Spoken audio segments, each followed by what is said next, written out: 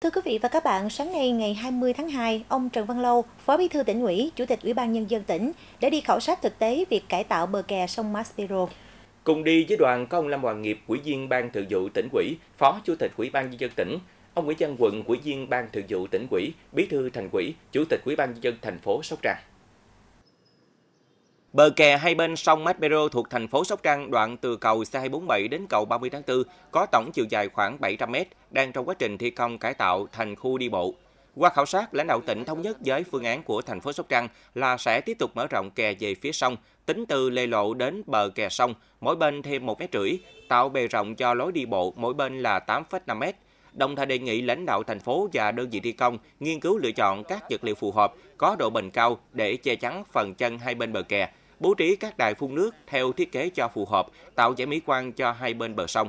Đoàn cũng khảo sát thực tế bờ kè đoạn từ cầu C247 đến cầu Maspero với chiều dài 1,8 km mỗi bên. Khu vực này giúp thành phố có lợi thế lớn để triển khai các dịch vụ ẩm thực trên bờ kè và du lịch trên sông. Chủ tịch Ủy ban dân tỉnh ông Trần Văn Lâu đề xuất thành phố cần phải quy hoạch cải tạo lại khu vực cho phù hợp với định hướng phát triển đô thị, phát huy tối đa tiềm năng lợi thế về thương mại dịch vụ du lịch trên địa bàn, qua đó, ông đề nghị thành phố Sóc Trăng phối hợp với các sở ngành đơn vị có liên quan lập kế hoạch trên ban thường vụ xem xét thông qua về quy hoạch lại chợ trung tâm thành phố, chuyển đổi công năng của bến lên hàng hóa hiện tại thành bến đổ du thuyền, bãi đậu xe, phù hợp với quy hoạch phát triển chung của tỉnh, góp phần xây dựng và nâng tầm phát triển về lâu dài của thành phố Sóc Trăng.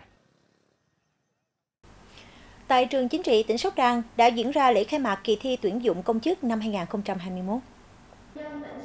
Dự lễ khai mạc có ông Lâm Tấn Hòa, Ủy viên Ban Thường vụ tỉnh ủy, trưởng ban tuyên giáo tỉnh ủy, hiệu trưởng trường chính trị tỉnh, bà Huỳnh Thị Diễm Ngọc, Phó Chủ tịch Ủy ban nhân dân tỉnh, Chủ tịch Hội đồng tuyển dụng công chức năm 2021.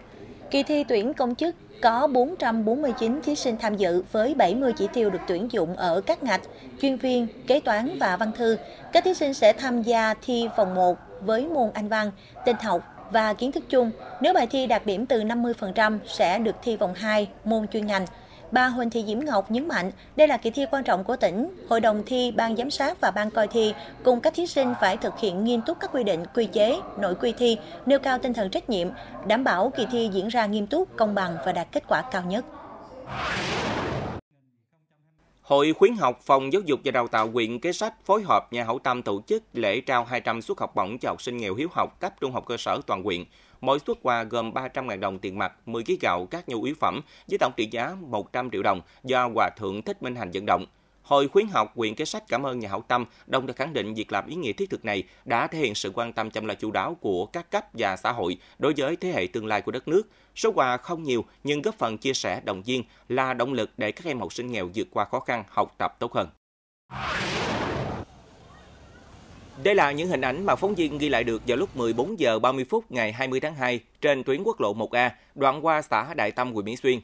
Nhiều phương tiện giao thông ra vào bãi đổ xe tham quan chùa Chánh Kiểu và nhiều khách hành hương sang đường nên làm xe bị kẹt ở cả hai hướng, từ Bạc Liêu đi Sóc Trăng và ngược lại, kéo dài hơn 2 km, từ ấp Đại Nghĩa Thắng đến ấp Đại Thành. Các phương tiện lưu thông trên đường rất khó khăn, nhiều xe ô tô còn lấn sang phần đường dành cho xe mô tô rất nguy hiểm. Lực lượng cảnh sát giao thông đã có mặt để phân luồng, hướng dẫn các phương tiện lưu thông, hướng dẫn tài xế chạy đúng tuyến để giải phóng tình trạng kẹt xe. Lực lượng dân phòng cũng được bố trí để giữ gìn trật tự và đảm bảo an toàn lưu thông cho các phương tiện lưu thông. Tuy nhiên, do lượng xe ra vào bãi đổ xe quá nhiều, đến 16 giờ cùng ngày, tình trạng ủng tắc giao thông vẫn còn, ảnh hưởng đến nhu cầu đi lại và vận chuyển hàng hóa của người dân. Liên tục trong những ngày qua, lượng du khách đến tham quan tại các điểm du lịch của Sóc Trăng tăng đột biến. Đặc biệt là ngày cuối tuần, lượng du khách còn tăng lên rất nhiều, trung bình mỗi ngày có đến 2.000 du khách. Các điểm du lịch tâm linh thu hút đông du khách tại Sóc Trăng những ngày qua có chùa Mahatup, chùa Dơi, phường 3, thành phố Sóc Trăng, chùa Sông Đông, phường 5, thành phố Sóc Trăng, chùa Solon, chùa Chánh Kiểu, xã Đại Tâm.